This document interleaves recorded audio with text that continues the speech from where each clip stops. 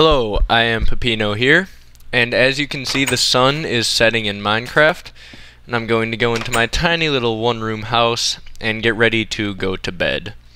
But first, what's this? It's an alarm clock. That's right, I have built an alarm clock in Minecraft that will tell me it will go off when the sun rises. So, once it becomes night, we are going to set the alarm clock. Alright. Uh, so we look at it here. It says backwards is off. So the lever's backwards, it's off. Forwards is on. And that's what happens when it's on. So we're just going to have to wait for the sun to go all the way down. And then uh, we'll show you how this works. First, I will uh, show you how the alarm clock goes off, and then I will show you how to build it. Alright, sun all the way down now. See, when the sun is down, the alarm clock will not go off, but now we're just going to wait, and when the sun comes back up, then we will hear our alarm clock waking us up. So I'll bring you guys back in about one Minecraft night. Okay, the sun is just starting to come up over the horizon. The moon is going down. And uh, we are in here. We are supposed to be sleeping so that our alarm clock will wake us up. Normally that's how it's done. But there we go. There is the alarm clock. Uh, we stayed up so that we could hear that. That is the alarm clock turning on just due to the fact that the sun has risen. Alright, now we are going to learn how it's built. Okay, let's take a look at how this works. This is my little redstone experiment world, and this is the alarm clock. This, believe it or not, is actually able to sense whether or not it's day or night. It is a light sensor. Now, I did not invent this. I am nowhere near that smart or good with redstone.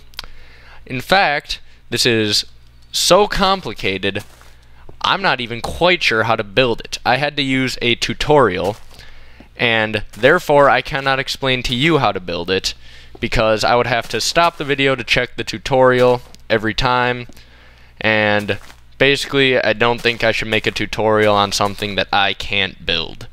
So, what I'm going to do is, in the description of this video, I will have a link to the video that taught me how to make this.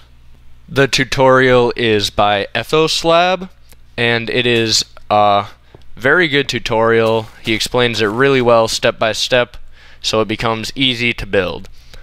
But, uh, basically, what it does is the grass down here, right, it will grow with light. And the grass growing and dying, see, at night it dies because of the low light level and being covered by water, the grass will die. But with the high light level, grass can grow under just a little bit of water. So when the sun comes out, the grass will grow back, which will affect a piston that you can't actually see right now. Oh, yep, it'll affect that piston, I believe. Uh, and it will power this, which will power this, which will turn this off, therefore powering this, and that is on a continuous repeater using this piston, which will power these note blocks continuously. Now, the way you make the alarm clock uh, toggleable is using this. It goes through here, which basically uh, powers this off, which powers this on, but uh, or it affects it or whatever, which would normally it would be off during the day. When the alarm clock is going off, this has to be off. Okay, but turning it on will stop the alarm clock. So that is how you make it toggleable. Alright, you would have to turn on this middle segment. So, quick demonstration. Uh, we still got time. Let's place a torch here and hopefully the light will be enough to uh, make the sensor trick the sensor into thinking it's day. Maybe it's not. Oh, yep, it is. Alright. So the light level changes. We have simulated day by placing the torches there, which inside your house has set off the alarm clock, which you can then just turn off. There is no snooze button, haven't figured that one out yet, but maybe in the future there will be. So, uh, Ethos Lab invented this uh, light sensor, and you see, there we go. When it becomes night, it won't go off. Uh, he invented the light sensor, and I thought of a practical use for it. So that is the Minecraft alarm clock. So you just watch his tutorial, then you connect it to here, and run it through here. Uh, using these redstone torches on the blocks like this, you can take it and make it power note blocks. You have to make it so that it powers the note blocks and this piston right here during the day. So when the light is on it, it should power the note blocks and the piston, which will start the repeater, which will make the sound continuous. Then during the day, you just have to turn off the alarm clock, otherwise the sound will keep playing all day. Uh, the practical uses for this would be in case you're down in your basement or something, or you don't have windows.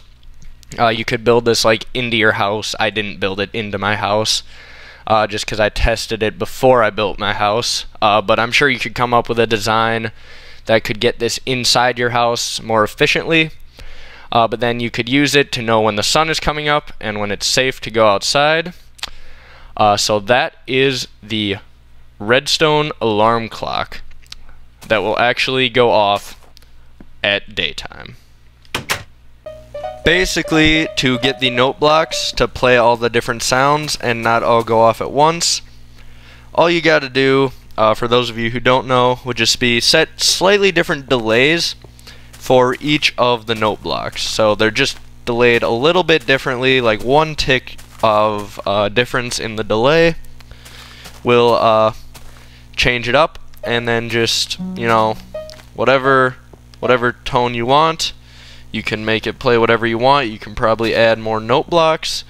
Uh, it's all up to you at that point, whatever tone you want to wake up to in Minecraft. See there, I changed it a little bit. You can do whatever you want. Uh, but again, that's not too difficult.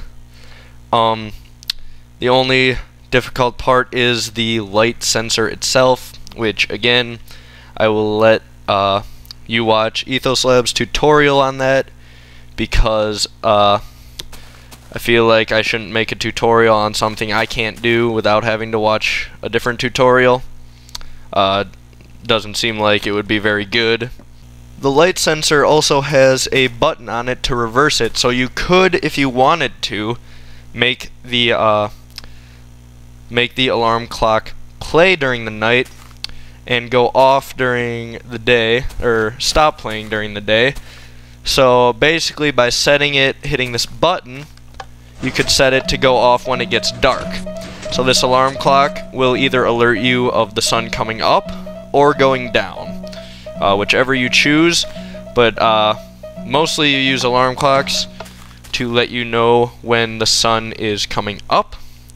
So that's what uh, I'm using it for. But if you are nocturnal or a vampire or uh, whatever your reason may be, you can use it uh, to detect nighttime as well.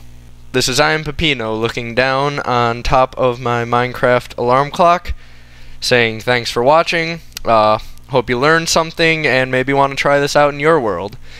And remember to subscribe for more awesome videos, and we'll see you next time. Also, just a quick heads up, ignore the uh, light sensor you have seen for the beginning of the video. Uh, I was having some problems with it, and then I checked uh, Ethos Labs page and saw that he made an updated, more efficient one. uh, because there were a few minor technical difficulties that could occur with the first one. So the updated one is the video I will link in the description. So once again, this is I am Peppino saying thanks for watching, and we'll see you next time.